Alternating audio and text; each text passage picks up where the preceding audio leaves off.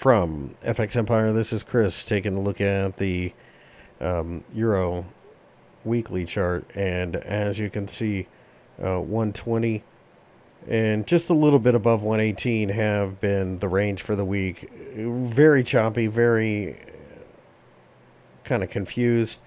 Yields continue to um, continues to be the main driver. So if yields in America rise, that brings us down. If they fall, it brings it up. Um, if we can break the 120 level, then we could go higher. If we break down below here, then I think 116 is calling. Uh, just simply waiting for the breakout of this little range that we formed is how I plan on trading.